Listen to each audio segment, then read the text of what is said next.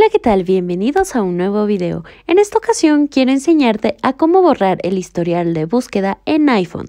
Bueno, antes que nada, quiero invitarte a suscribir a nuestro canal de YouTube, pues para que veas más videos relacionados a este tipo de contenido.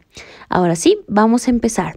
Lo primero que tenemos que hacer es dirigirnos a la ruedita de configuración.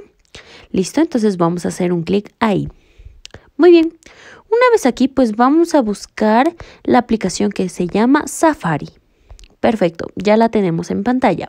Ahora nos vamos a dirigir a la parte inferior en donde dice borrar historial y datos. Entonces vamos a hacer un clic ahí y listo, automáticamente se ha borrado el historial de búsqueda en iPhone.